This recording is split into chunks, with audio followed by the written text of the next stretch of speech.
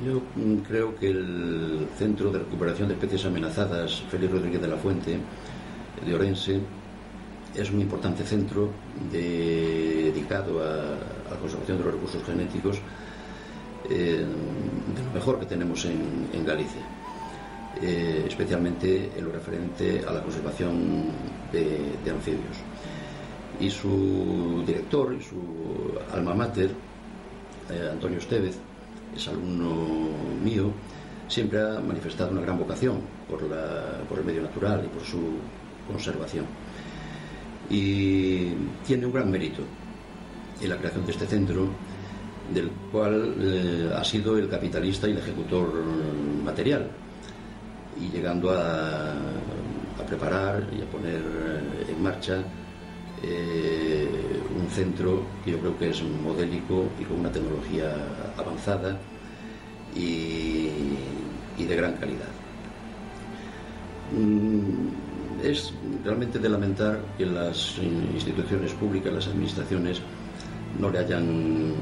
echado una mano. Yo siempre digo que mm, eh, muchas veces eh, los políticos y las administraciones van por detrás, tras la presión social. Seguramente es necesario que la sociedad lo conozca y lo valore para que luego demande a los políticos que se preocupen del centro y de estos temas, en mayor medida. Ambiental, bueno, pues es algo que hoy eh, nadie pone, pone en duda. Eh, la tasa de desaparición de hábitats y de especies pues se multiplica prácticamente por mil con respecto a la natural y dentro de este proceso de desaparición de especies hay eh, dos grupos que son los anfibios y los reptiles que están especialmente amenazados que viven básicamente en, en ambientes, en hábitats eh, muy delicados y que están siendo eh, alterados, incluso desde el punto de vista histórico, eh, alterados de manera muy importante por, por las comunidades humanas. Entonces, teniendo esto en cuenta y también teniendo presente siempre que la conservación del hábitat es prioritaria y fundamental, la conservación mediante la aportación de individuos reproducidos fuera de su hábitat eh, por desgracia, eh, también se está convirtiendo en, un punto muy, importante. Entonces, en este sentido, pues contar con centros de recuperación de especies amenazadas es básico para tener eh, como mínimo una puerta abierta para que las especies no desaparezcan completamente. Y hablando en concreto del Centro de Recuperación de Especies Amenazadas Félix Rodríguez de la Fuente, decir que es un lugar cuando menos excepcional, eh, por varios motivos. Eh, en primer lugar, por las características técnicas eh, que tiene este centro y su capacidad de reproducción de numerosos taxones de anfibios y reptiles, y realmente por algo que hoy en día pues casi no se valora y que es, por así decirlo, el resultado de un proyecto vital de su director Antonio Estevez Prieto, eh, donde se ha dejado no solo ideas, tiempo, sino eh, también dinero. Por eso decía eh, que en los momentos en que corren, que parece que todo tiene que estar mercantilizado, pues un centro que le ha costado tiempo, ideas, parte de la salud y sobre todo el dinero que está en ese centro, el 110% procede inversión privada del propio Antonio, eh, pues es algo que le, da un valor eh, más, si cabe, a este tipo de, este tipo de centros. Entonces, eh, digamos, tanto un ejemplo de la importancia que tiene la recuperación de especies amenazadas, repito, básicamente de anfibios y reptiles, pero también como es la, la puesta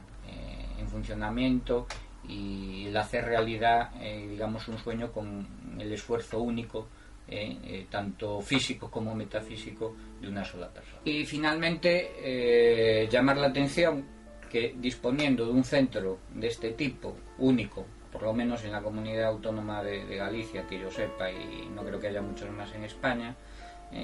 que, por decirlo de alguna manera, las administraciones o la administración no se aproveche de esta oportunidad, de utilizar este centro ya no eh, pues para invertir mucho dinero eh, para la reproducción asistida, por así decirlo, pero sí desde luego para utilizarlo como un elemento único y con una capacidad increíble de educación ambiental. De educación ambiental para cualquier tipo,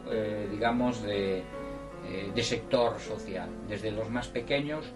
hasta incluso profesionales de la administración que tendrían la oportunidad única de poder tener en sus manos y reconocer eh, realmente pues aquellas especies eh, que están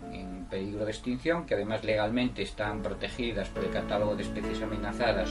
eh, no solo de España, sino evidentemente también de Galicia, y que ellos tienen la obligación de conocer para evidentemente llevar a buen término su, trabajo. Entonces ya no es un problema o una petición de recuperación, digamos, de, la, eh, de lo que se ha invertido en este centro, sino de utilizarlo eh, como una oportunidad única eh, para la educación ambiental, algo de lo, cual pues estamos bastante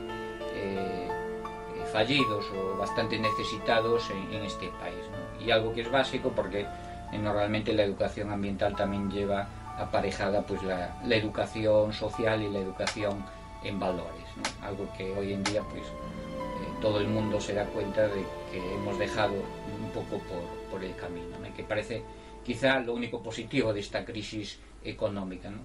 que nos damos cuenta de que determinados eh, valores los hemos ido aparcando y necesitamos recuperar.